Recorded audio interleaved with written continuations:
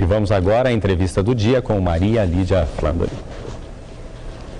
Esses arrastões em condomínios e restaurantes, bares, aumentam a sensação de vulnerabilidade e muita gente tenta se proteger investindo em segurança privada e até mudando hábitos.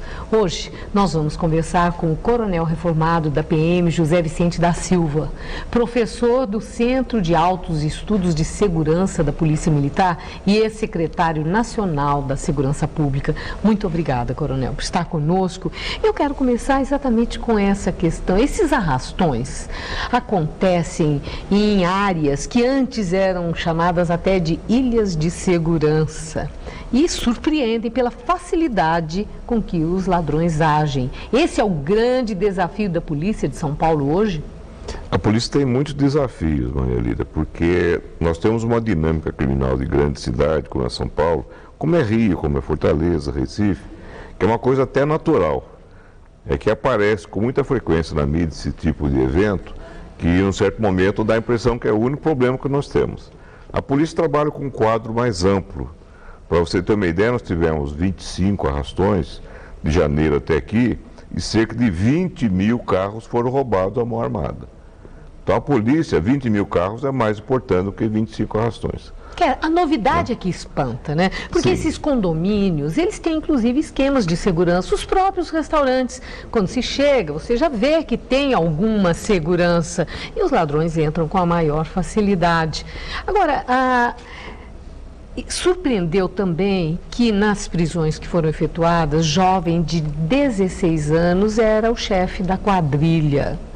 Esses arrastões, eles são organizados por grupos de criminosos, do crime organizado mesmo, ou são gangues de gente jovem aí que arrojados estão fazendo isso? É, a experiência dos policiais mostra o seguinte: existe, nós temos centenas de criminosos e o negócio deles é roubar, obter bens ilícitos o mais rapidamente possível, usando até de ameaça e violência, se for o caso, que é o problema do assalto.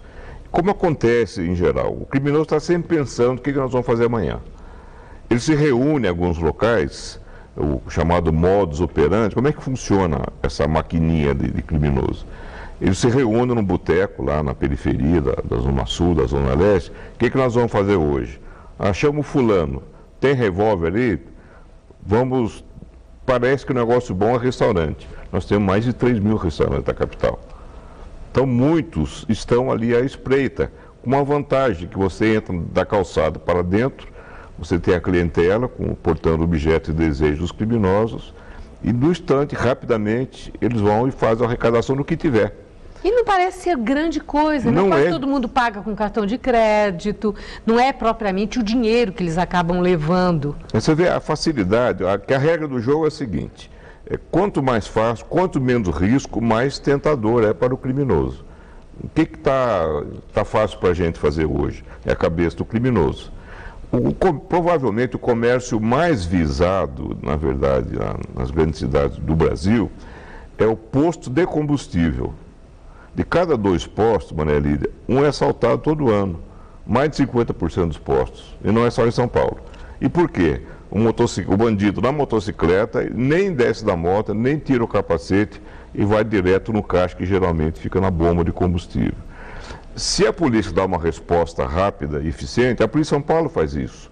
Temos que reconhecer esse mérito. Praticamente a maioria dos casos dos arrações de condomínio, de shopping center, joalheria e agora de, de, de, dos arrombamentos com explosivos de caixas eletrônicos, agora do, dos restaurantes, a polícia rapidamente dá a resposta. E daí a conversa no meio do bandido a e a casa também caiu. não resolve, né? Porque eles continuam, o próprio governador, já vai haver treinamento de pessoal, aumento do chamado efetivo policial em dias festivos, mas a gente vê que os ladrões, eles vão em dia comum, mais tarde da noite, não é quando o restaurante está lotado como o dia dos namorados, dia das mães, etc.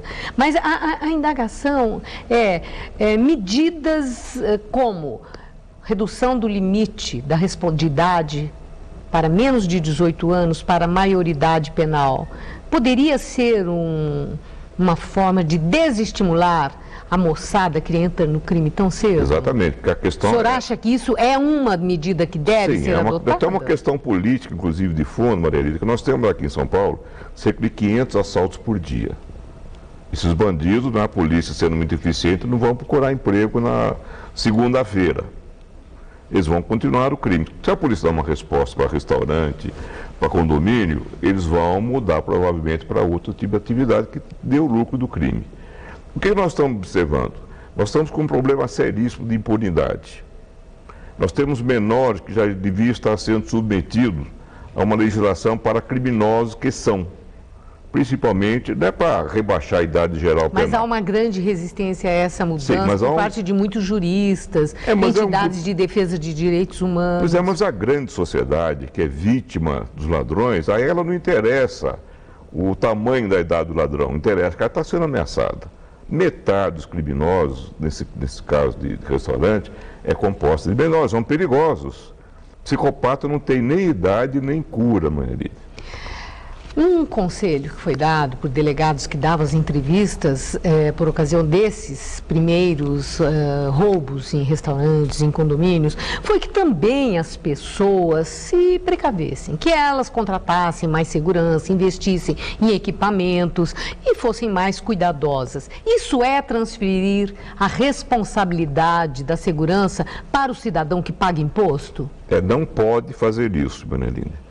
Ah, nós temos muita legislação obrigando os bancos, você não pode usar celular, o banco tem que tomar tal providência para evitar a, a, a saidinha de banco, aquele tipo de assalto que tem. Isso é um problema público, não é do privado. Segurança pública. Segurança pública. O que se recomenda, naturalmente, é que as pessoas tomem cuidado, mas não para aliviar o problema do Estado. O Estado tem que fazer a sua parte. Nós tomamos cuidado com a nossa saúde, temos que tomar cuidado com a nossa segurança também. Algumas questões básicas. Para quê? Para a gente se tornar um alvo menos preferido para o criminoso.